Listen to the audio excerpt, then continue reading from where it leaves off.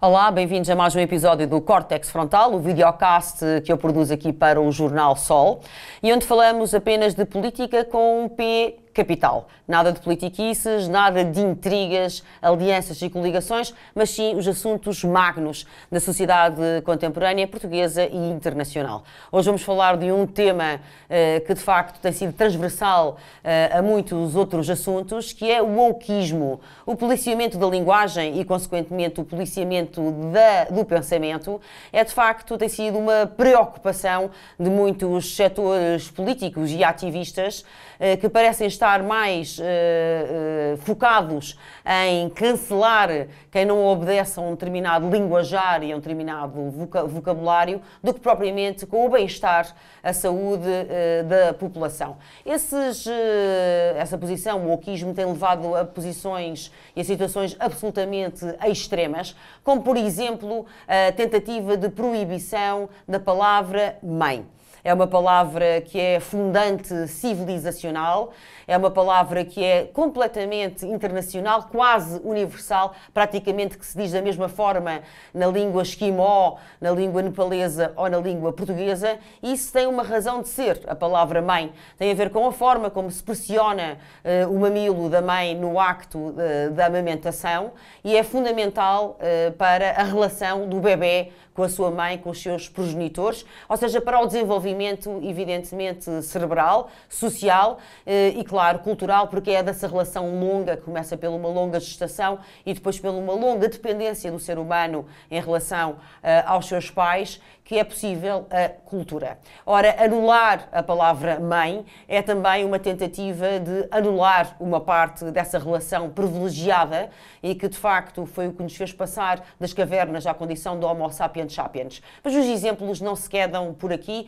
Uh, recentemente a União Europeia veio pedir uma linguagem mais inclusiva, uh, apelando a que se deixasse de falar de forte e que se, de viril e que passasse a falar de forte portanto, tentando banir a palavra viril, como se viril fosse uma palavra errada ou obscena, e também eh, solicitando que se evocasse primeiro o nome de rainha antes de rei, como se fosse a ordem inversa, que de alguma forma apocasse os direitos das mulheres. Mas, eh, como eu dizia, os exemplos são vários e têm conduzido inclusivamente a uma política de cancelamento, ou seja, têm feito várias vítimas. Uh, diversos autores, diferentes escritores, pensadores, têm sido atacados, uh, esbulhados inclusivamente da sua própria obra, por e simplesmente porque se recusam a aceitar este policiamento do pensamento. Estou a pensar, por exemplo, na autora J.K. Rowling, a autora da saga Harry Potter, que inclusivamente teve uma das suas exposições onde foi permitido mostrar o seu trabalho, uh, justamente dessas personagens, mas onde o seu nome foi banido, foi cancelado, por, porque a autora questiona algumas destas derivas, porventura, totalitárias. Para discutir este tema, que depois tem diferentes ramificações, tenho com hoje uma convidada muito especial aqui no Cortex Frontal, a Helena Tender. Obrigada, Helena, eh, por te juntares aqui a nós, que é jurista e empresária e também uma grande amiga.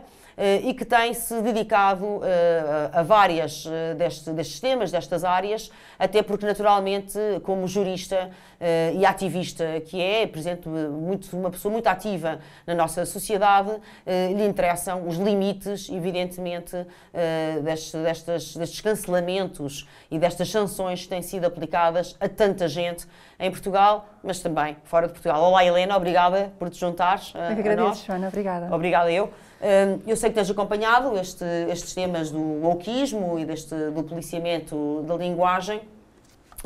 E gostava de começar por perguntar uma coisa muito simples. Se isto é um tema, eh, também tens filhas, és mãe, se isto é um tema que te preocupa, é, Preocupa-me muitíssimo, uhum. especialmente precisamente por isso, por ser mãe uhum. e por ver o que acontece com os meus filhos nas escolas. As escolas são, neste momento, uh, centros de lavagem cerebral. Certo. E, e eu, como mãe e, com, com, e o meu marido, como pais, nós temos claramente essa, esse, temos muito presente o papel de ter que reagir contra reagir com, com, a lavagem cerebral que é feita na escola. Uhum. E é uma escola muito simples, no meio, nós vivemos numa aldeia pequena, uhum. num sítio muito pequeno, uhum. um, e ainda assim este, este, esta ideologia, os ramos, os tentáculos chegam a todo lado. É impressionante. É, bastante. É, aquilo que te acontece, provavelmente eu também sou mãe, dois, dois miúdos pequenos, ainda mais pequeninas que, que mais pequeninos do que as tuas, Uh, e provavelmente acontece até que quando eles chegam a casa é ter que, quando falas de lavagem cerebral, é ter que desconstruir uma série de conceitos, não é? Que não se pode dizer isto, não se pode falar daquilo, uh, parece que está tudo cheio de interditos e de tabus. Uh, eu, que outrora militei numa coisa que também outrora se chamou esquerda, que isso já não existe, evidentemente, vinha, essa, essa dita esquerda vinha de uma herança onde se dizia, no maio de 68, etc., é proibido proibir. E, no entanto, agora parece que está tudo cheio de factos, tais caminhos proibidos e interditos, nós parece que estamos sempre a pisar num campo minado, e eu penso que é um bocado esta sensação que as crianças trazem para casa e que nós depois temos que estar ali um bocadinho a rever a chamada revisão da matéria dada, não é assim? Mesmo. Uhum. É, a nossa papel como pais é estimular o sentido crítico dos nossos filhos. Uhum. Para mim Exato. isso é muito importante. Muito e então obrigo-os a questionar. Não, não tento também fazer o, o, mesmo, que é dar a informação e dizer, não, isto não é assim assado. Não, perguntem, isso faz sentido. Uhum. Faz sentido dizer que há, há mil e um géneros. Faz uhum. sentido, por exemplo, no outro dia uma das minhas filhas chegou a casa com um papel de geografia em que a professora falava nos benefícios da Unesco, que, bom que era a Unesco. Uhum. E eu pulo a ler o manifesto de, na, na, que foi feito, desse pesquisa de Julius Huxley, uhum. e vai ler o manifesto quando, quando a Unesco foi fundada, o que é que lá diz. Certo. E é horrível, é eugenia, racismo, a superioridade da raça branca. Um, portanto, hoje, é engraçado, porque neste é momento curioso. estamos tão preocupados com o racismo e com uhum. a equidade e com a justiça social, e neste momento estamos a promover instituições que são, objetivamente, na sua fundação, historicamente, foram mesmo eugénicas e racistas. Mas isso é muito interessante que tu até tragas esse exemplo. Porquê? Porque eu estou convencida não só como mãe, mas inclusivamente e ativista, mas também como psicóloga, que este extremar, esta polarização e os tais amontoados de tabus e mitos, não se pode falar disto, não se pode dizer aquilo, não se pode pensar aquilo outro, são tão extremos que têm exatamente o efeito oposto. Ou seja, que fazem com que cada vez mais as pessoas, a maior parte das pessoas, eu tenho ouvido muitas pessoas que me dizem assim: não, eu não era uh, transfóbico, mas agora querem normalizar isto e ter a hora do conto com transexuais para crianças de, da pré-primária, de 4 anos aos, aos 8 anos, que eu já começo a ter dúvidas, já começo a ficar a sentir-me transfóbico. Ou seja, as pessoas são, são tão, parece estão a ser tão uh, condicionadas a pensar de uma, de uma, maneira que depois, obviamente, reagem. Portanto, eu não sei, na verdade, qual é que é o verdadeiro objetivo, não é? Uh, desta propaganda toda? A mim parece-me óbvio. Uhum. Eh, eu, eu, uma estratégia que funciona há milhares de anos, que é dividir para reinar. Pronto, dividir para reinar. Uh, mas, para além disso, não, não sei mesmo se o objetivo último não é colocar as pessoas ainda mais racistas, ainda mais xenófobas, etc., porque eu vejo mais divididas, não é? mais polarizadas, Exatamente. que é isso que eu vejo uh, a acontecer. Eu fui buscar este exemplo do, deste apelo da União Europeia, mas uh, eu digo apelo entre aspas, para a União Europeia cada vez mais uh, tem mostrado as suas garras, não é? No combate à desinformação, uh, às fake news, etc., cada vez parece mais totalitária e como comportamento uh, cada vez mais autoritário, mas eu, eu falo deste exemplo porque parece-me que a palavra viril, a palavra viril, Uh, que ainda por cima é uma palavra que tanto se pode dizer ela é viril como ele é viril. uh, a palavra viril é neutra. Perdão? É neutra. É neutra, exatamente. É neutra. Ao ser atacada, eu acho que isto é todo um programa, não é? Claro que sim. Eh, porque parece que a ideia de virilidade e nós temos. Eh, porque tu eh, falaste bem, Helena, que. É, é, muito importante que os nossos filhos e que o Estado, nossos filhos, nós estimulemos o sentido crítico aos nossos filhos e o Estado estimula o sentido crítico aos seus cidadãos. Eu acho que isso é viril. eu acho que isso é uma, é uma forma de virilidade, não é? Uh, nós sabemos pensar por nós próprios, pesquisar informação, uh, compará-la, uh, ir a contraditório, ter pensamento crítico, etc. É uma forma de virilidade. Parece que se quer tudo um bocadinho amorfo, um bocadinho manso. É? Substituir viril por forte parece-me todo um programa. Eh, eu acho que, na origem de tudo isto, isto é um programa de uma operação psicológica massiva, à, uhum. escala global, uhum. de engenharia social, manipulação artificial, chamem o que quiseres, é plástico. Uhum, é, plástico. é, plástico. e é falso. Uhum. E é, sinceramente, é quase ofensivo quão inútil e absurdo isto é. Isto são problemas de primeiro mundo. Uhum, Pergunta a alguém em Gaza se, se está preocupada, que, que, que, se alguém está preocupado que chamaram pelo pronome errado. Exato. Ninguém quer saber. Pessoas com verdadeiros problemas não querem saber disto para nada. Claro. E uh, perdemos, uh, gastamos bilhões, a União Europeia, uh, os países, em políticas, por exemplo, os ESGs, uhum. é mesmo, no fundo são créditos sociais para empresas. Uhum é, é, é Deixa explicar melhor o que é que isso quer dizer, porque a maior parte das pessoas não estará familiarizada. A, a sigla é Environmental, uh, Social e Governance uh, uhum. Criteria. São uhum. critérios standard para empresas para, no fundo, são, é mesmo isto, são, são créditos sociais, da mesma forma que temos créditos sociais chineses uhum. para bom comportamento dos cidadãos, é o mesmo para empresas. Exatamente. São empresas fofinhas uhum. que, que, promovem, estas palavras são, são, todas no mesmo, pertencem todas à mesma Exato. família, que é equidade, sustentabilidade, já ninguém fala em dignidade humana, agora estamos a mudar para a equidade. Ninguém fala de direitos. Não. Liberdades e garantias. Não. É equidade e hum, inclusividade. Uhum. Sustentabilidade Exato. ambiental. Uh, mas no fundo são palavras cheias de nada uhum. e que nos. O, o, objetivo é esse, é dividir-nos ainda mais. Pois claro. as políticas são ridículas, uhum. uh, não fazem sentido. Esta, a linguagem inclusiva é, é, absurdo também, é linguagem, as palavras não, não são violência. Eles, ao, isto é uma consequência para mim gravíssima do que está a acontecer, porque ao redefinirem violência, linguagem ser violenta, estamos a, a pôr no mesmo patamar violência física com violência verbal. Uhum. Porque, claro que há, há, alguns exemplos extremos em que a violência verbal é crime e, claro. e, é, extremos, e é, é danosa. Uhum. Agora, não é igual, não é comparável. Não é sim, comparável sim, à violência e, física. Eu acho que sim, por tudo numa mesma mudurra, numa mesma mesmice, é perigoso. Exato. E depois leva a outra consequência, que é, nós sabemos perfeitamente quem é que comete a maior parte dos crimes violentos. E uhum. São homens. Uhum. A maior parte, mais de 90% dos claro. crimes violentos são, são, claro. uh, são, são cometidos por homens. Mas se vamos começar a definir violência, crimes violentos como violência verbal e, e, chamar as pessoas pelo pronome errado e o que seja, já temos várias mulheres a cometer esse crime. Claro. Mulheres que foram despedidas, por exemplo, por, uhum. por dizerem que homens não podem ser mulheres. Uhum. E então... O caso da J.K. Rowling, por exato. exemplo. E chegamos a um extremo em que, de facto, estatísticas criminais não fazem sentido, nada uhum. disto, linguagem não faz sentido, uhum. porque já não, linguagem que nós, em sociedade, concordávamos que era assim que comunicávamos, porque esta, esta, esta palavra quer dizer isto, uhum. e todos concordavam, neste momento as palavras mulher não quer dizer nada. Uhum. Mulher é o que qualquer pessoa quiser pensar que é, ou dizer que é. Uhum. Exato, quando se pergunta, eh, neste contexto do wokeismo, uh, o, que é que é, o que é que é uma mulher, para muitas pessoas passou a ser uma resposta um sentimento. difícil. Exato. Para mim, não há sentimento nenhum. É assim, eu nunca me senti mulher. Já te sentiste mulher? não sei o que isso é. eu sou mulher, eu Exato. não me sinto mulher, não é? Eu sou mulher. Mas tu uh, aduziste aí um ponto que eu acho que é muito importante, porque tu dizes assim, isto é um problema do primeiro mundo, uh, vão lá perguntar em Gaza se por acaso estão preocupados por tratarem pelo pronome errado ou outra coisa qualquer, é evidentemente que não estão, mas é curioso que justamente aquilo que eu estava a dizer eh, se confirma neste momento. O Sam van der Leyen recentemente elegeu o combate à desinformação como a prioridade da União Europeia. A prioridade, não é? Num contexto onde há fome, onde há guerras como Gaza, etc.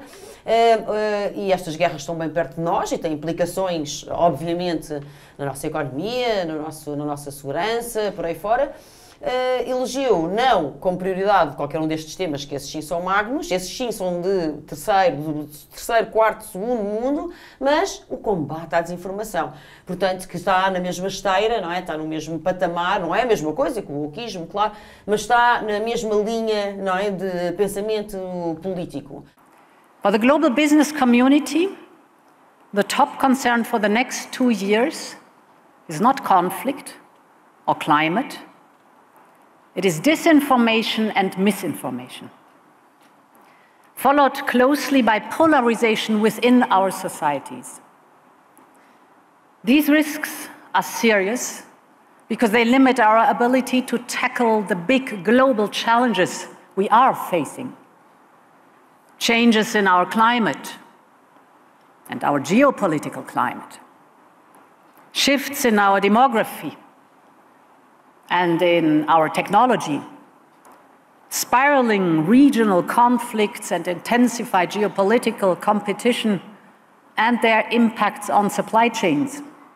Portanto, eu partilho uh, daquilo que tu estás a dizer, que ao fim e ao cabo, uh, aquilo que tu estás uh, a partilhar, penso eu, é que isto é de uma profunda hipocrisia. Isto não vem resolver problemas nenhums, vem acrescentar dificuldades às pessoas, não é? Completamente. E, além disso, um, isto está, está, estudado, não é? A humilhação é uma arma muito poderosa de controle da população, de uhum. controle social. Uhum. Um, e este, o facto de nós não podermos usar a nossa linguagem, o facto de mulheres serem obrigadas a olhar para um, para um homem gordo e feio e dizer que é uma mulher que não, que não é obesa, que não é obesa e que é lindo, uhum. uh, isto é lindo, lindo. Isto é altamente humilhante para a própria pessoa, ou seja, eu, eu, não posso dizer o que eu penso, a minha opinião não conta, a minha verdade, a minha realidade é um gaslighting extremo. Uhum. É um é? gaslighting extremo. E, e é humilhante, uhum. e isto permite, uh, até, eu iria um bocadinho mais longe, quase a nível espiritual, emocional e espiritual, uh, pôr as pessoas numa vibração, em, em estados de energia vibracionais uhum.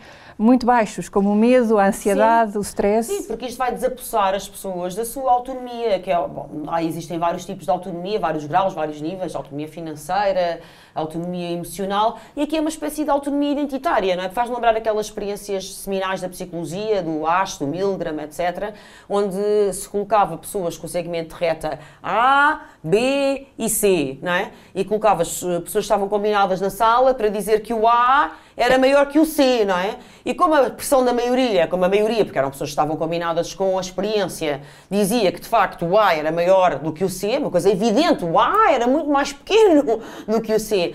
Depois o resto das pessoas que não estavam combinadas com o experimento científico acabavam por concordar. Algumas delas concordavam porque não queriam ter chatices, não é? Mas algumas, e isto é que eu acho que bate aqui no ponto que tu estás a trazer à nossa conversa, acabavam por concordar que o A era maior do que o C, contra todas as evidências, porque já ficavam baralhadas e pensavam assim: bom, se toda a gente está a dizer que de facto o A é maior do que o C, se calhar sou eu que estou a ver mal, o que é que se passa comigo? Estarei louco? Eh, estarei doente? Estarei, não é? As pessoas já duvidavam de si próprias. E este nível de autonomia, a pessoa duvidar da sua própria identidade, é o que tu estás a falar, não é? Pensar com medo, pensar com ansiedade, pensar. Isto é muito grave, não é? Porque uh, isto é a destruição uh, de um bem essencial uh, da humanidade, que é, que é de facto a confiança em si próprio, a consciência de si? Que são coisas muito importantes também na, na civilização. Sem dúvida. Isto é totalmente o livro 1984, uhum. que é o regime obrigava-nos a, a, questionar a realidade que víamos com os nossos olhos. Exato. Não era? Negava, nós víamos, víamos uh, verde e o regime dizia que era amarelo. É uhum. É amarelo e, e, nós tínhamos de ter que era amarelo. Uhum. E ao, ao, ponto das pessoas começarem a duvidar de si próprias. Não, isto é enlouquecedor, é. no sentido literal da palavra, Sim. não é? E na bocado, quase em off, estávamos as duas a falar de como tem aumentado o número de suicídios e de problemas de saúde mental. Uh, e é estatística, portanto é um facto, uh, isto ainda na esteira das políticas Covid, etc. Mas isto em si mesmo, isto é enlouquecedor. Se tu estás a ver que uma coisa, que o segmento de reta A é muito mais pequeno que o C, mas convencem-te e obrigam-te a dizer que o A é maior, esta pessoa fica maluca. Isto agora é para usar um termo super técnico de uma psicóloga clínica, mas, mas de facto a pessoa fica maluca. Isto é ensandecedor. E retira-te dignidade. Retira-te dignidade. E retira, eu penso que retira dignidade, e era aquilo que eu falava há bocado da autonomia e emancipação, eu acho que isto é o ataque derradeiro ao livre-arbítrio. Porque se tu não consegues decidir, decidir e verbalizar, expressar-te que uh, a minha t-shirt é preta e não branca, então o que é que te resta? O que é que te sobra, não é? Uh, portanto, eu percebo o que é que queres dizer com um ataque espiritual e etc., porque isto está para além só dos aspectos sociais e cognitivos.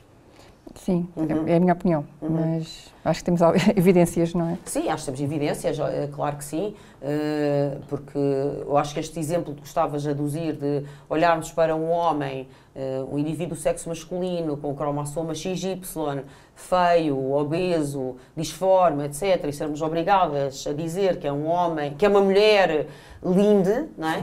Eh, e elegante, Uh, isto é, é, obviamente estamos a falar no tal ataque derradeiro ao livre-arbítrio. Mas Helena, uh, tu, como tu sabes uh, melhor do que eu, este wokeismo também se alimenta do estatuto de vítima, não é? Porque ainda por falar, porque é preciso ver, perceber que isto é um ataque ao livre-arbítrio, mas dentro do dividir para reinar, há pessoas que estão evidentemente a lucrar com isto, e não falo sequer daquelas só que estão a lucrar financeiramente com isto, ou que estão a lucrar na guerra que, que se montou, porque é uma guerra, uma espécie de uma guerra civil, Uh, global, não é? Nem estou a falar disso, estou a falar das pessoas que agora são vítimas, são vítimas da sociedade, não é? São vítimas da sociedade porque lá está, porque não, não chamaram com o pronome certo, são vítimas da sociedade porque não disseram primeiro rainha antes de rei, ou menina antes de menino, ou já nem sabemos, podemos dizer menino, podemos dizer rainha. Uh, rainho, é tudo confuso. É melhor uh, falar açoriano, porque é só pôr o E no fim da palavra é e funciona. É rainho. Não sei muito bem, está açoriano, mas uh, para te dizer que uh, há, há, pessoas que, estão, que gostam deste estatuto de vítima, não é? que, que parece que têm um, que se sentem confortáveis com esta ideia que o centro, serem centro das atenções passaram a, ser, a ser, ter uma atenção especial porque são trans, porque, eh, porque têm pronomes, porque, sei lá, por múltiplas razões. Eh, e, e eu pergunto também, para além do tal ataque ao livre-arbítrio, se este estatuto de vítima, de falsa vítima, de vítima artificiosa, se isto será positivo socialmente. Eu acho que definitivamente não, mas uhum. podemos censurar essas pessoas. Uhum. A verdade é que, um, imagina um, um rapaz de 20 anos branco, uhum. que não, uhum. nada, não tem nada de especial. Especial Classe é a palavra, assim. De repente, basta dizer que é não binário, por exemplo, e passa a ter um estatuto especial. Já, e isto, tudo isto está, está conjugado e é perpetuado pela, pelas redes sociais, uhum. que, que, são altamente nefastas, como tu sabrás melhor que eu os efeitos que isto tem na psique certo. coletiva e, individual. Um, e de facto, no, no, mundo onde os ESGs uh, e a equidade os e os tais créditos é que conta, são créditos mesmo, são créditos sociais, portanto é isso que conta e, e corporativos. Uh, tu ganhas pontos por isso, por ser especial. É assim, é assim, que o mundo funciona. Uhum. Não, não podes, eu não vou censurar essas pessoas por quererem beneficiar e por quererem não, ter um não, estatuto não. especial uhum. ao abrigo deste, deste mundo que foi criado desta forma, artificial. Uhum. Mas acho que a, a nível psíquico não é, não, não é nada bom. Não, e, e tu sabrás muito melhor que eu. Mas, por exemplo, eu lembro de ver uma estatística que nos anos 1918 ou aos anos 20 Uh, apenas, não, nos anos 20 ou 30, apenas 18% das pessoas considerava uh, sou uma pessoa muito especial uhum. e agora é, é, na casa dos 80%. Uhum. Portanto, o narcisismo explodiu, não, eu, eu acho que através... Aproveito-me fazer uma declaração de interesses. Mas isto é uma, especialmente a identidade de género, é muito simples, porque se tu não és, se és branco, se não és uma pessoa de cor, uh, se não és mulher ou se não és, uh, se não és vítima de um crime sexual, por uhum. exemplo, se és um homem branco, é uma classe coisa muito simples, classe média, uhum. é muito uhum. simples, basta dizer, basta dizer que, que, és, que és trans, ou que és não binário, ou que és, uh, sim, uh, outra categoria qualquer, e, e, automaticamente pertence àquela categoria especial que é protegida e que, que é tratada, tem um tratamento diferenciado. Claro. Uh, sim, e, e, na verdade isto já isto tem, quando nós falamos deste estatuto de vítima, isto já tem repercussões concretas, porque já há cotas, não é? Uh, especificamente para pessoas que se dizem não binárias ou outras coisas quaisquer desse tipo, uh, que são especiais, quando vamos pôr assim neste chapéu de chuva, uh, se calhar mais politicamente correto, que se dizem especiais, já começa a haver de facto cotas específicas para, para estas pessoas. Exato, para mim isto é o patriarcado 2.0, uhum. é assim que eu chamo, porque uhum. imagina, imagina um conselho de administração em que 50% são homens e os outros 50% são mulheres trans uhum. homens que claro. se identificam com mulheres. Claro. Continuamos na, na mesma da realidade que temos hoje, que é uma maioria, só, apenas menos de 10%, menos de 5% dos conselhos de administração são, têm mulheres. Sim, é como, por exemplo, a questão, eu nunca, eu nunca gostei muito nas listas eleitorais Uh, que de, se resolvermos o problema da subrepresentatividade das mulheres uh, com a obrigatoriedade de, de ser para que, acho que a lei é assim, não é? Para cada dois homens uma mulher. Nunca gostei muito de vencer na secretaria, mas, enfim, era melhor vencer na Secretaria do que nada, porque a mudança efetiva tardava, não é? Exato. Há décadas estávamos à espera que isso acontecesse e não acontecia. Mas agora, na prática, o que é que pode de facto suceder? Bom, pode suceder que temos lá dois homens uh, biológicos 2XY eh, e depois temos um, um, um, homem biológico XY, mas como diz que é mulher. Já está. Com tratamento hormonal ou não, porque nem sequer a questão nem é essa. Até pode não ter retirado o pênis. Eh, Quase, não, é pouquíssimos, menos 10% Pronto. fazem. Uhum. Uh, pois, portanto, isto obviamente uh, uh, tem, tem implicações práticas no mundo do desporto, etc. mas eu, eu, para além desta, desta camada toda, porque tu tens acompanhado certamente os casos do Kevin Spacey, por exemplo, Sim. acompanhaste, ou do Jordan Peterson, também esse é psicólogo. É, esse é um problema que eu tenho. É um dos problemas para mim nesta, desta, deste tema, é que tens, para mim, o Jordan Peterson isto vai foder muita gente, uhum. eu acho que ele é um imbecil. Uhum. É um imbecil, é uma pessoa mal formada, uhum. não é muito inteligente, ao uhum. contrário, é só porque fala caro isto uhum. não é uhum. sinal de inteligência. Ah, isso de certeza que de não. É. Todo. É. E, e, tens imbecis como Jordan Peterson, o Ben Shapiro, o Matt Walsh, uhum. que dizem, basicamente a mensagem deles é: ah, os homens não podem ser mulheres, uhum. mulheres não são homens. Uhum. Um cão sabe isso. Um cão consegue distinguir homem de mulher pelo cheiro. Portanto, eles não ganham pontos, nem, mas ganharam milhões, milhões de dólares por dizerem o óbvio. Isto é tão irritante, a sério, porque como mulher, porque eu sigo há muitos anos Uh, sou feminista radical uhum. e as feministas radicais há décadas que escrevem sobre este tema, uhum. uh, que avisam para esta mudança cultural, para os perigos que, do apagamento da mulher que aí vem, certo. Uh, para os perigos para as meninas, em especial. Eu sou mãe de duas, portanto, isso para mim era muito, muito problemático. Eu lembro-me de discutir com o meu marido há, há, mais de 10 anos a falar sobre este tema e ele dizia qual é o teu problema? Isto é ridículo, são 0,0001% da população, isto não interessa nada. Eu, não, a cultura vai mudar, tu não tens noção do que, que é que vai acontecer. E tu tinhas razão. Mas não sou eu, sou elas. Eu só, eu só li os livros certos. E agora, a coisa que mais me oferece é ter pessoas, eh, especialmente à direita, os mais conservadores, que dizem: Ai, que é que, Helena, tu és feminista?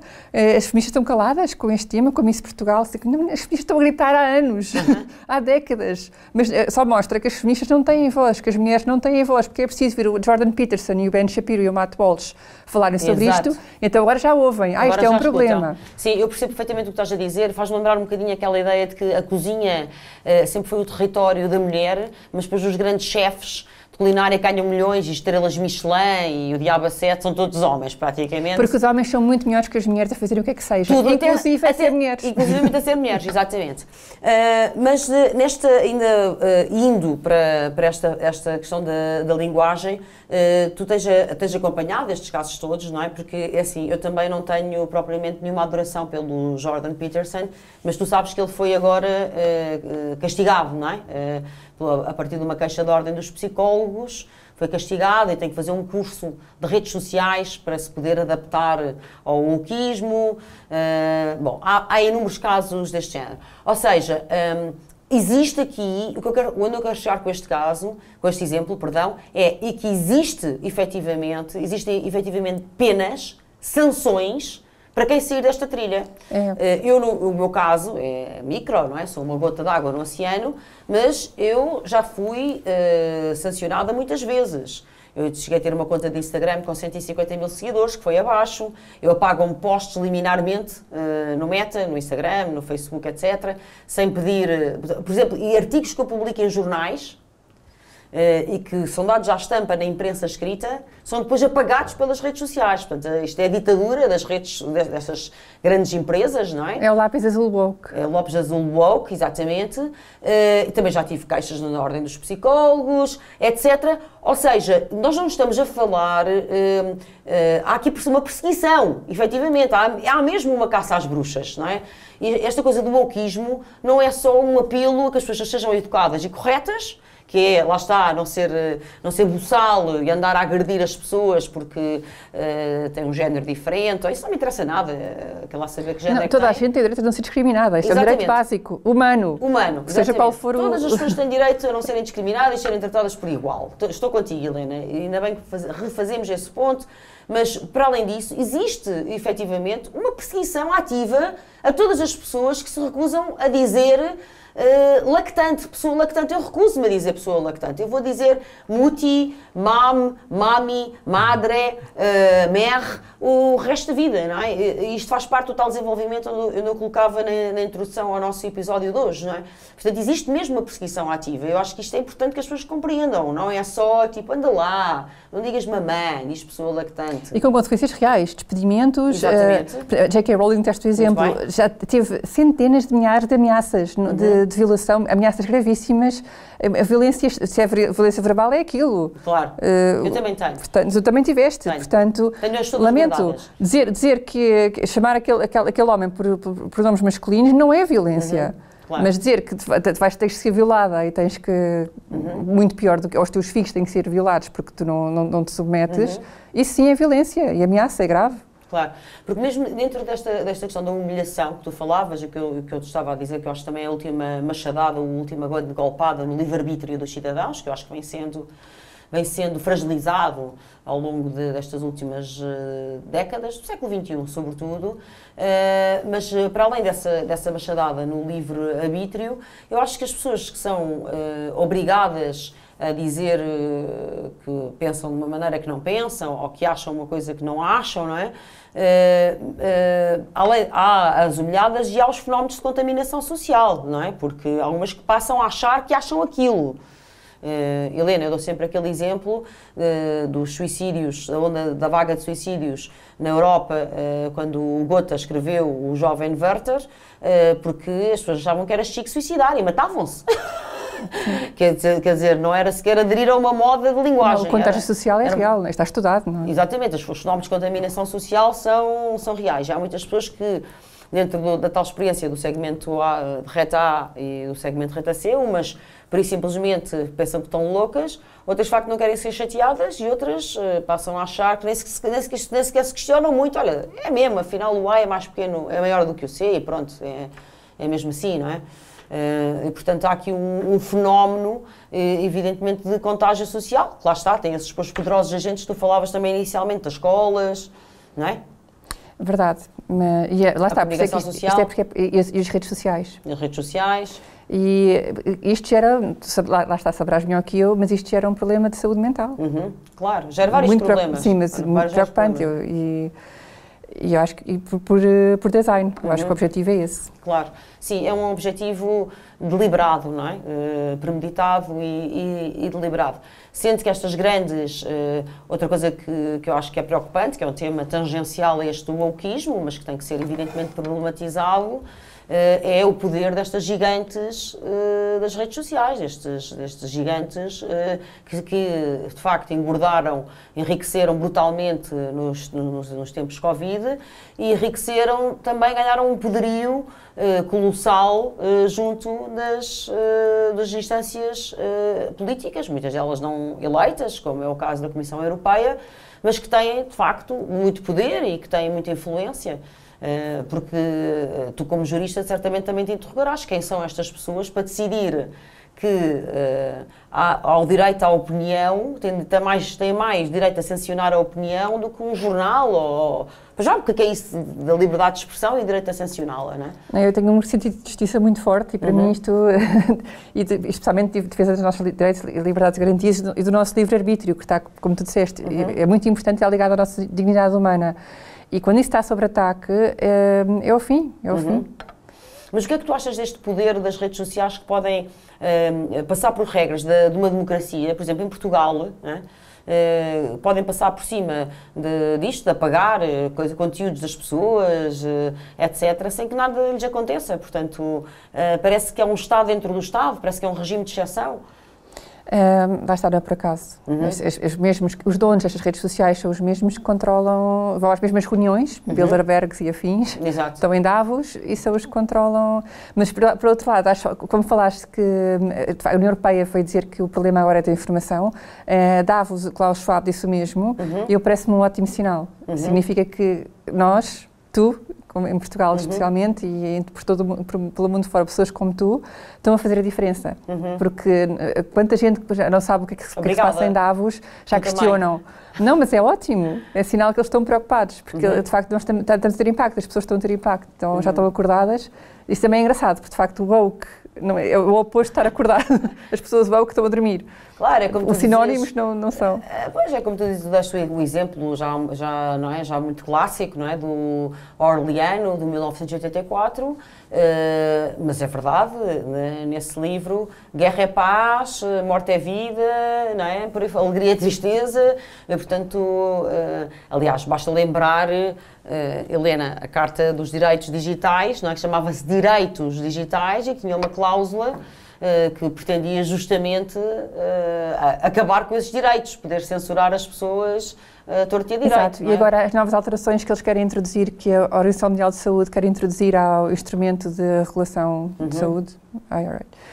Um, estou, estou a lembrar da palavra em inglês, um, que estão a substituir a dignidade humana por equidade, qual é que é? Como é que é? Dignidade humana, risca pois, e pões equidade. Uhum. Whatever, não sabes o que é que significa, não, não sabes. Que é que uhum. essa, essa, é uma das, das principais. Mas há outras, portanto, depois as medidas que a OMS decidir, eh, antes eram recomendações, agora são vinculativas uhum. para os Estados. Uhum. Um, mas essa é muito clara. De... Sim, todo, todo aquele linguajar, não é? aquele jargão que tu estavas a falar há bocado, da sustentabilidade etc. Eh, e que, aliás, depois isso é, há de ser um tema de um outro episódio do córtex frontal, eh, mas que se nota não só, nós temos estado aqui a falar muito sobre estas questões de género e trans, mas outra área onde isto se nota muito é as questões climáticas, não é? Sim. Uh, antigamente falava-se de alterações climáticas, agora temos que falar de emergência climática, falava-se de, como é que era, do aquecimento global, agora temos que falar do, do boiling, não é? Da,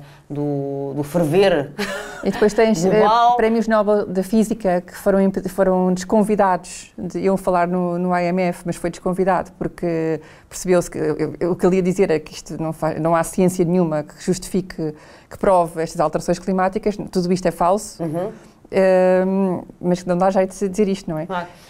Pois, porque, por isso é que há bocado estava a juntar este, neste arco a questão do politicamente correto e do wokeismo à questão da desinformação, porque parece-me que não só eles se unem por razões evidentes, não é? tem a ver com a linguagem, com a expressão, com o espaço público, com a liberdade de opinião, com a liberdade de expressão, com a liberdade de imprensa, etc., mas porque também parece-me que eles vão terçar mais ou menos as mesmas armas, quer do ponto de vista das operações psicológicas, não é? de PSIOP, quer depois do ponto de vista das ferramentas operacionais de cancelamento, de censura, de mordaça nas redes sociais ou noutros, noutros espaços, não é? Por isso é que eu considero isto aqui um arco... Sem dúvida, e cobra muitos uhum. temas, como disseste, por exemplo, é outra forma de, de humilhação, nós termos uh, bilionários que voam em jatos privados claro. para determinados locais discutir uh, quão grave é nós usarmos fogões ou bebermos de paguinhas de plástico, uhum. uh, quando... Afinal, as palhinhas de papel, segundo li, são piores ainda. Sim, mas...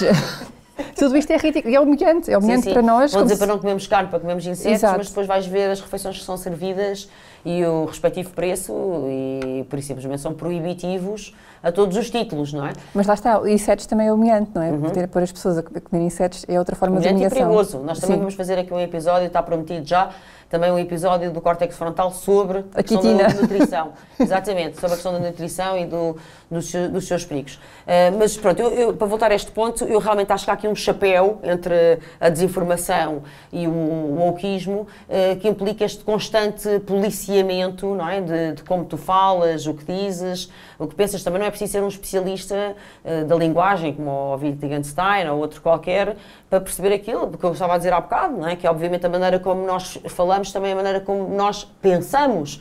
Uh, e que este condicionamento da linguagem implica o tal condicionamento do pensamento, inclusivamente emocional, que tu estavas a falar, da, da humilhação. A linguagem tem muito poder. A linguagem, claro. as palavras manifestam-se. Claro, eu claro acredito. Uhum. E, portanto, eu, eu, tento ao máximo não usar esta linguagem. Uhum. Esta, eu odeio a palavra sustentabilidade, por exemplo, uhum. tento não usar na minha empresa, certo. que por acaso é sustentável, uhum. é um negócio super sustentável, certo. um produto 100% biodegradável, certo. e eu prefiro ter biodegradável do que ter sustentável sustentável, porque pois, claro. fujo desta linguagem. E fazes bem, ela, ela é completamente vazia e acaba por ser, eh, de facto, um invólucro oco eh, que depois permite o controlo não é, eh, dos cidadãos. Eu estou a pensar, por exemplo, de, ainda a propósito do ambiente, o que é que é isto de dizer transição energética, não é? Isto é para não ficarmos muito mesa só centradas na gestão do género, não é? Não, não, não. O que é que quer dizer, o que é que dizer transição energética, na verdade? A energia eólica, a energia solar, por fora sempre existir. não sei o que é que isso quer dizer de transição outra energética. Ótima, outra ótima é quando perguntas às pessoas qual é que é a porcentagem de, de CO2 na, na atmosfera terrestre. Ninguém sabe. Exatamente. Ninguém tem noção. Uhum. Mas quando explicas que é 0,018%, ficam a olhar para ti como não, não acreditam. E o CO2 como se fosse uma coisa em si mesma, o carbono como se fosse uma coisa em si mesmo. Não, é, é comida das é? plantas, portanto. Exatamente, pois as plantas precisam dele para se Mas sério, é 0,018%. E diz-me como é que beber de painhas de papel tem interferência, e desse, desses 0,18%, uma ínfima porcentagem pode ter eh, influência humana. Não, claro. É Zero, isto é tudo ínfimo, é tudo é ridículo. Tudo ínfimo, é que estavas a dizer há bocado a propósito de, de Davos, basta de, de da Cimeira do Clima, é que basta relembrar que a Cimeira do Clima, por exemplo, tem vários patrocinadores, um dos principais é a Coca-Cola, que é, das maiores, é maior, uma das maiores, está no top 5, poluidoras mundiais. É, portanto, isto não passa de uma propaganda hipócrita. E, e o que eu acho extraordinário, porque é o que estavas a dizer, ah, ainda bem que há pessoas como nós que, que desafiam um bocado esta, este status quo, eu sinceramente tenho dúvidas sobre isso, Helena, porque eu acho que isto é, é feito é tão à cara podre, não é? Porque tu tens uma cimeira do clima em que eles viajam de jato particular e comem bifes do lombo e são patrocinados pela Coca-Cola, estão a pedir que tu comas insetos, andes a pé uh, e sejas pobre e, e, sejas feliz e não traz nada, eu acho que isto é, eh, não é preciso ser um, um gênio da informação, uh, estás a perceber o que eu estou a dizer, uh, para, para, para desmontar isto. Eu sei, mas o facto de eles estarem tão preocupados com a tua informação mostra que, que está a surtir efeito. Não sei, eu acho que isto é feito mesmo na tua cara, a cara podre. É verdade, é verdade. Mas confiam. ser não? otimista. Não sei, acho que eles têm um enorme excesso de, de confiança sobre, sobre estas coisas. Uh, Helena, caminhando um bocado para o, para o, fim da nossa conversa, eu, uh, embora, como, como digo, acho que há, existem várias, vários níveis de perseguição aqui com o wokeismo, uh, segundo eu entendi nas tuas palavras iniciais, tu consideras que as mulheres são das principais vítimas do wokeismo? Falavas um... do patriarcado 2.0, eh, continuo a achar que sim, uhum. é, porque eh, eu acho aí mais na agenda trans, uhum. não tanto tudo o resto. Acho uhum. que este, o patriarcado afeta e esta agenda é, é, perniciosa para toda a gente. Certo, claro. Toda a gente toda não a gente. pertence às elites, uhum. basicamente. Portanto, homens, mulheres, crianças em especial.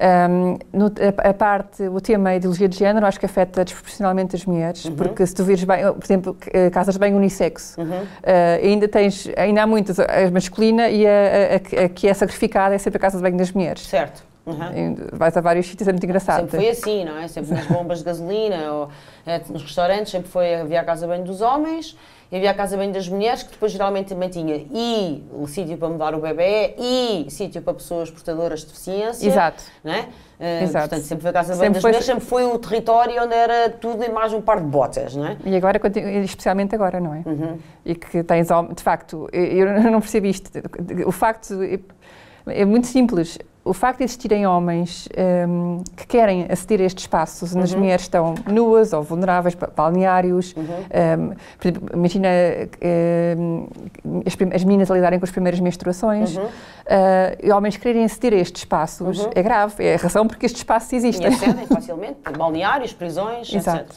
Um outro, um outro aspecto uh, que eu acho que é muito relevante, e certamente tens acompanhado, Helena, sobre isto da, cultura. Woke, é o ataque uh, à cultura, porque tem havido numerosas obras de arte, Uh, estou a pensar em pinturas, por exemplo, do Chile, uh, e numerosas também obras literárias. Estou a pensar uh, desde o James Bond, enfim, vários títulos, que têm sido, tem havido uma tentativa, até histórias infantis, como a Bela Adormecida, não sei se acompanhaste a polémica com, com os anões e aquilo tudo, que tem sido, tem havido uma tentativa de expurgá-la uh, ao fim e ao cabo, qualquer princípio ativo, não é? De limpá-la uh, de qualquer palavra que, puder, que possa ferir, ao fim e ao cabo, suscetibilidades, porque estamos sempre a falar aqui de, de uma permanente conjunto de pessoas que se sentem ofendida e que, ao fim e ao cabo, quando nós vamos tentar limpar, uh, limpar essas obras, aquilo que é atacado é, obviamente, a obra, não é? O,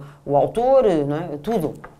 Sim, é grave, uhum. é muito grave. Lá está aí esta, esta formatação de pensamento, uhum. esta a obrigação de conformidade. Uhum. Desculpa, o meu português sim, está cada sim, vez é pior. um, é, é, grave, é muito grave e, não, é absurdo. Isto, isto continua, cai na categoria de problemas de primeiro mundo. Uhum. Não são problemas. Sim, mas é um, é um problema de primeiro mundo, mas aqui transforma-se num problema do mundo, não é? Porque quando estás a, a castrar, a amputar uh, obras de literatura, ou não interessa se é uh, músicas, também tem havido muitos ataques a muitas músicas, uh, letras, ainda, não há, ainda não há outra parte não é, da melodia, mas também já não deve faltar muito.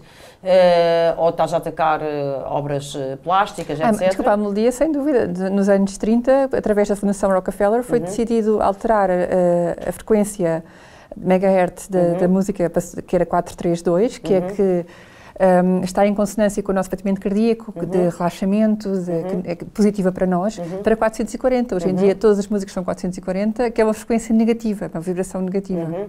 Isso desde quanto? Já me Anos 30. Disso. Anos 30. Uh, portanto, até, até a melodia, até é, a melodia. é inclusa nisso uh, e, e, portanto, estamos, uh, de alguma forma, a atacar alguns dos tesouros da, da humanidade. E também com uma desculpa que tu também tens acompanhado, porque além da agenda trans, além da agenda climática, aqui também entra a, entra a questão colonial, muitas vezes, não é?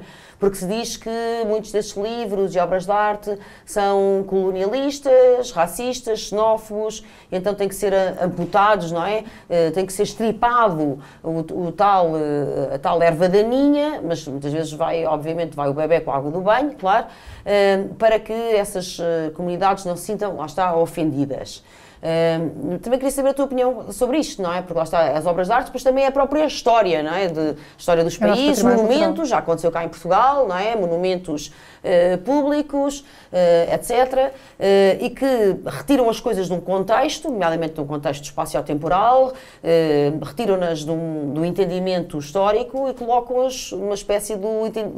colocam-nos no entendimento de hoje, achando inclusivamente que o entendimento de hoje é superior a tudo e a todos como se o entendimento e a leitura, a percepção dos seres humanos não fosse sempre variável. Então, sim, mas mesmo que, o que é objetivamente negativo, colonialismo, é objetivamente mau, claro. pernicioso, uh, mas como é que se aprende com a história? Uhum. Se, não for, se, não, se não for conhecendo a história, uhum. apagar a história faz, tem o efeito oposto, então não aprendemos nada, não é? uhum. é? Claro.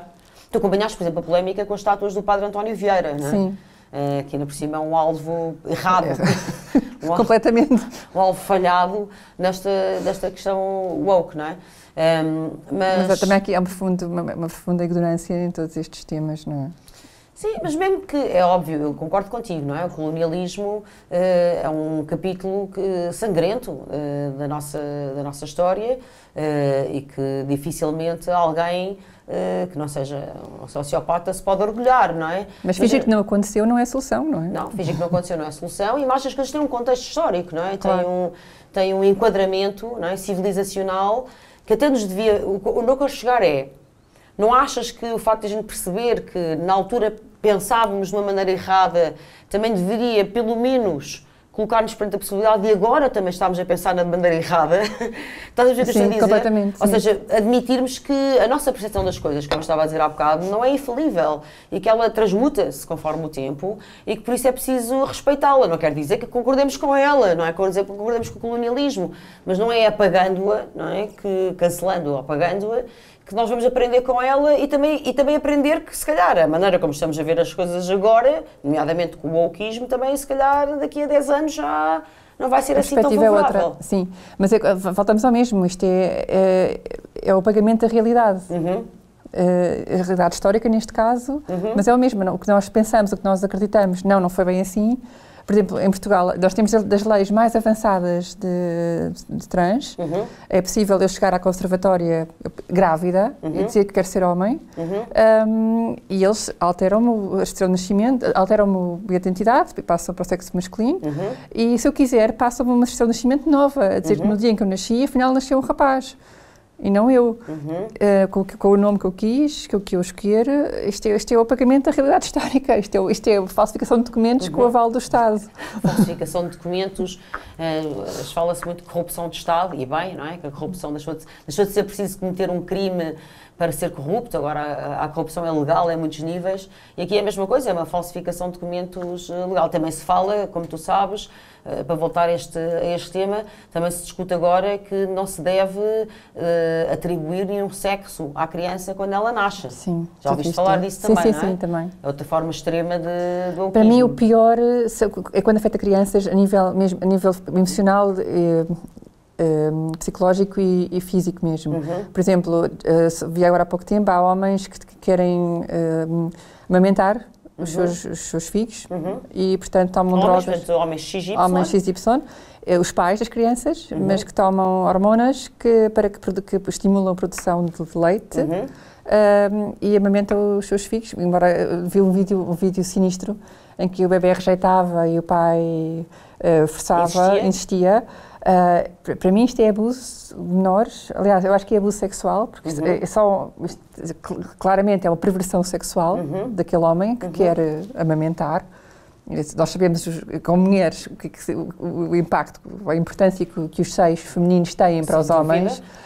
E, portanto, ah, aliás, isto é uma condição, uma parafilia sexual, a autogenofilia, uhum. que é. E, e, neste momento estamos a proteger a autogenofilia como uma característica uh, protegida como, tal como a orientação sexual, por exemplo. Uhum.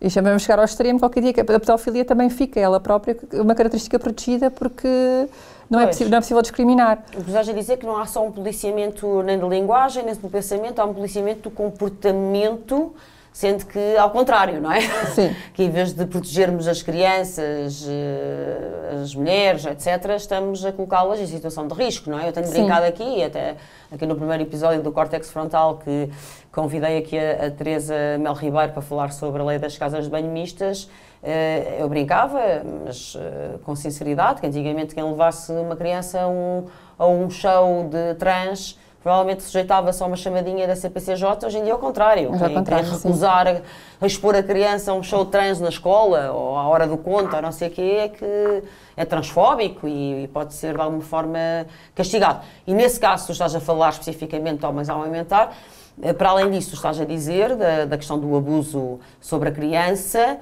Uh, também há a questão que falávamos há bocadinho as duas em off, que é que substâncias são estas que estão a passar, substâncias químicas são estas que o homem toma Não, para... não estão estudadas, uhum. não, não, é só, não é oxitocina, são, uhum. são drogas, uh, acho, acho, acho, que são drogas usadas na quimioterapia, uhum. uh, que estimulam a produção de, uhum. de leite. Uh, e que não se sabe o efeito a longo prazo nem a curto prazo mesmo, uhum. para, para, os, para os recém-nascidos. Uhum. É gravíssimo, uhum. mas ninguém Sim. quer saber. Claro. Vou dar outro exemplo, que é quero, Quero, exemplos são ótimos. tenho um cão em casa, temos um cão uhum. novo, que eu tive o cuidado de escolher uma raça que o meu marido tem asma e tem uhum. várias alergias, uma certo. raça cujo pelo não fosse antialérgico. Sim. Mas o problema, sim, hipoalergénico. O problema é que hum, ele, ele, é alérgico também à saliva, uhum. uma proteína na saliva do cão. Okay. E então agora estamos a ver opções que pode, que pode ser feito e descobri que na Suíça houve um investigador que desenvolveu uma, desenvolveu uma vacina uhum. para dar ao cão que anula completamente, neutraliza essa proteína e de repente não há problemas alérgicos. Uhum. Uh, mas decidiram não continuar com a investigação e não, e, e não, não promovem que, que, essa vacina seja dada por razões éticas, uhum. porque dizem que não, imagina, depois destes 3 anos, 4 anos, dizem que não é ético dar, vacinar o cão contra algo que não há benefício para ele naquela vacina, uhum. é só para proteger terceiros. E, e faz mal ao cão? Não, não, nada. Não. não. Mas é, mas não, Portanto, o cão é inócuo. Sim, mas não é ético. Não, não é, é ético, Joana. Estás a vacinar o cão. O cão para, para proteger terceiros. Uhum. Mas vacinar crianças recém-nascidos ou dar hormonas não estudadas para. Leites, leites, leites, leites adulterados. Sim, envenenados com, com, sabe-se uhum. lá com o quê, uhum. aí já, já é ético. Uhum. No fundo, que é usar o bebê como um, um brinquedo sexual uhum. para o pai. Claro se autoestimular, parece-me. Uhum. Qual é que é a razão para o homem querer amamentar desta forma, pondo a vida do, do seu filho em risco? Claro. Não faz sentido. Sim, uh, ainda bem que, que, vamos eh, terminar com esta questão dos direitos das crianças, uh, porque eu acho que tu tens razão, acho que todos uh, somos impactados e negativamente com o wokeismo, nestes níveis do pensamento, da linguagem e do comportamento, mas é evidente que as crianças, eh, pela sua natureza é, intrínseca, pelo facto de estarem em desenvolvimento e adquirir várias competências, nomeadamente a própria linguagem eh, e todos os códigos de conduta social, etc., são, e desde logo uma coisa tão, esta dicotomia tão simples do masculino e do feminino, do viril e do delicado uh, são mais, uh, ainda mais uh, impactadas, têm efeitos ainda mais violentos e duradouros sobre elas, não é?